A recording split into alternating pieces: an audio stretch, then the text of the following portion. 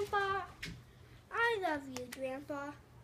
Written by Zilson Hosto. Illustrated by Daniel Hubble.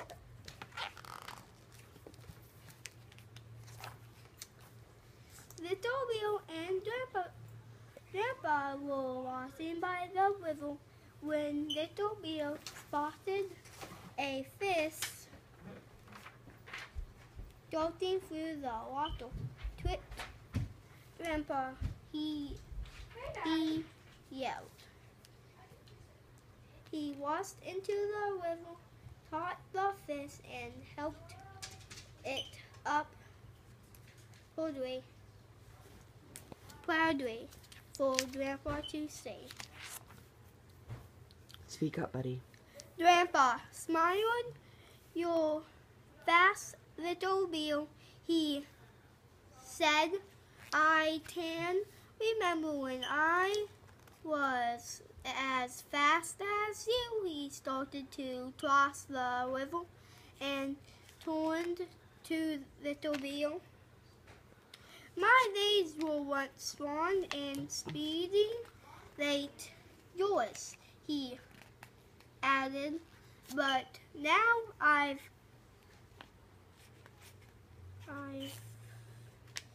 found an easier way to tax a meal. Really, Grandpa? asked Little Bill. What's that?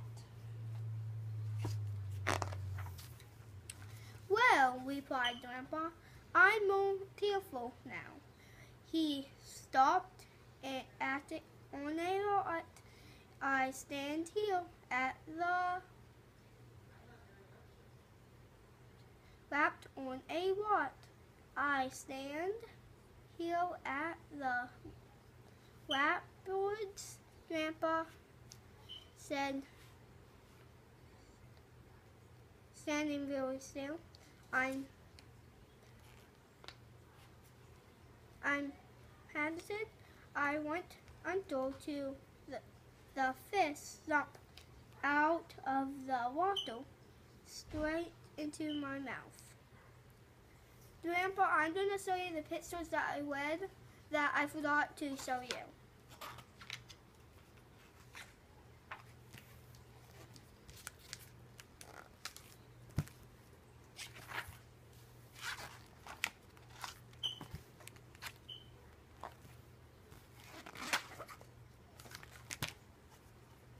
Wow, said Little Bill. I love you, Grandpa. You're so clever. Just then, Edley swooped down the beak of this wet wing, fled the beals, for they saw his salt. Little Bill ran straight up a tree. Grandpa smiled. I can remember when I could climb as well as you, he said. My arms were strong, but now I don't need to run away. Will Really, Grandpa? asked George, Little. Asked Little. What do you do instead?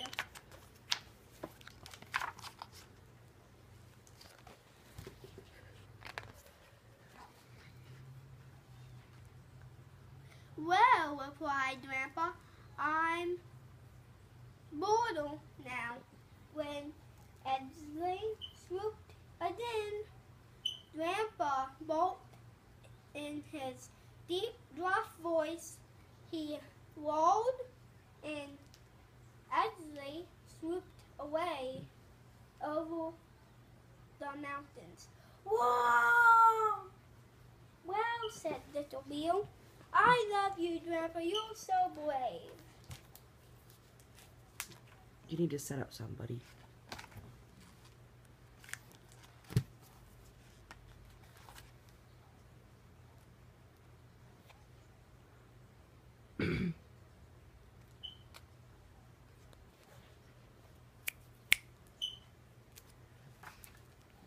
They walked on till on until they came across a slope when they when the where the oath was softer and deeper.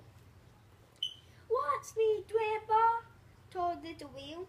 I tended myself a really good puzzle